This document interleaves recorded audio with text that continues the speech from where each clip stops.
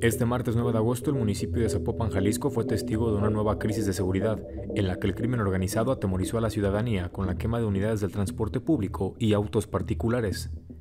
Derivado de un enfrentamiento entre el ejército mexicano y un cártel entre los municipios de Cuquío ex Tlahuacán del Río, fue como se dio esta serie de narcobloqueos.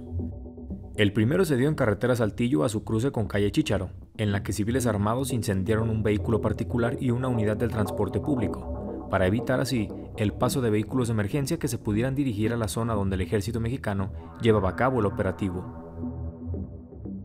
Minutos después el protagonismo absoluto se lo llevó la avenida Bosques de San Isidro en Zapopan, en donde se dieron tres de los cinco bloqueos registrados durante el día, siendo el primero en Bosques de San Isidro a su cruce con Río Blanco,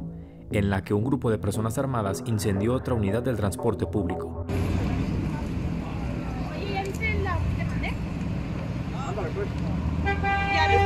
A tan solo 500 metros, en el cruce con Valle de San Isidro, otra unidad del transporte público era incendiada. Después, al filo de las 10 de la noche y a 100 metros del tercer bloqueo, en San Isidro y La Grana, un vehículo modelo Yaris fue incendiado por al menos dos masculinos que huyeron en una motocicleta, cerrando de manera momentánea la cifra de bloqueos hasta que muy cerca de la una de la mañana, en la Avenida de la Mancha y la Cima, en el municipio de Zapopan, un camión repartidor de refrescos fue atacado. A las 2 de la mañana, en Avenida Acueducto y Avenida del Valle, en la colonia Jardines del Valle en Zapopan, sujetos prendieron fuego a una tienda de conveniencia, cerrando así con la jornada violenta.